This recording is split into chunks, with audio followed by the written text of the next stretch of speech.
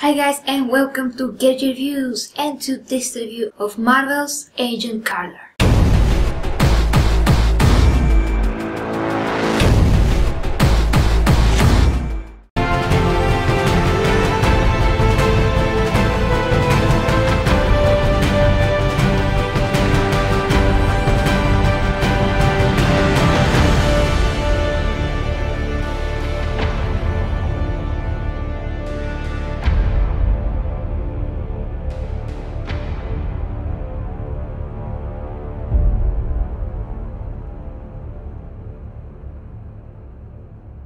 So guys, when I first heard that Marvel is going to do a TV show about Agent Carter from uh, the first Captain America movie, I was like, hmm, is that going to be good? Because, because you know, it's the 1940s and what what this show is going to be about really? What are they going to show in the show?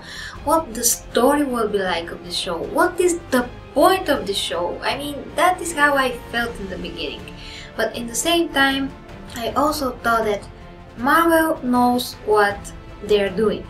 Uh, they are not doing so perfect job with Agents of S.H.I.E.L.D., but they are getting better at it uh, to the point where I'm waiting uh, almost impatiently for the next episode to see what will happen with Skye.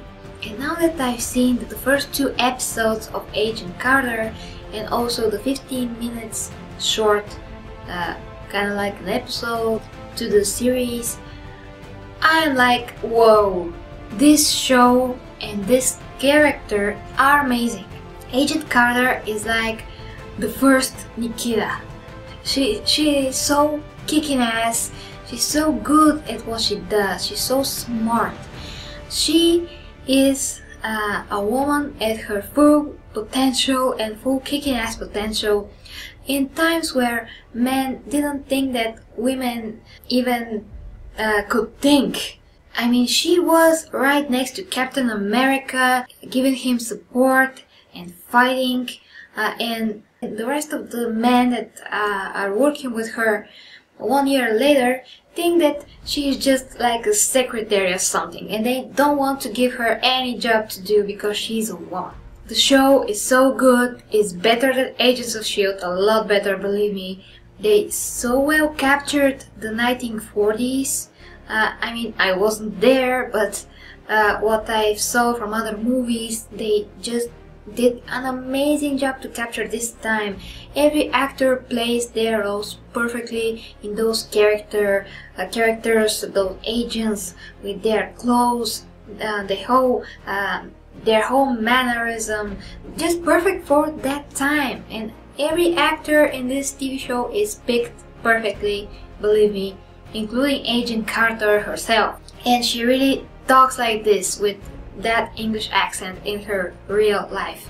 So she's amazing, amazing actress, amazing character. Uh, she kicks ass in a in an amazing, badass, totally cool manner and I just love her. One of the best woman fighting that I've ever seen on the smaller or, or big screen.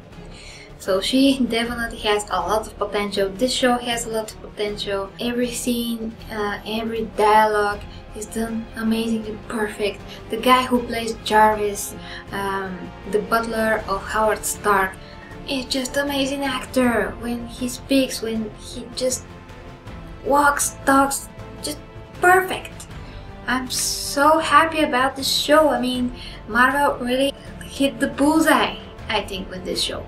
But unfortunately, we only have uh, so few episodes and I'm hoping that they are going to renew it and make a full season 2. But anyway guys, I'm encouraging you to check out Agent Carter if you love Marvel, if you love kick-ass chicks, if you love Captain America 1, 2, if you just love that universe, you have to watch it.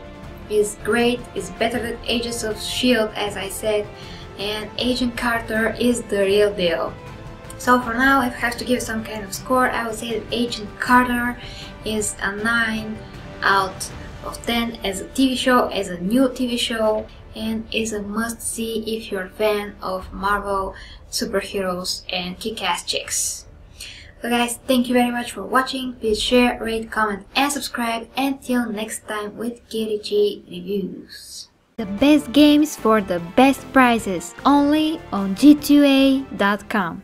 If you like to subscribe, you can click the button to the right and you can also check out my gaming channel, GeriG Gaming.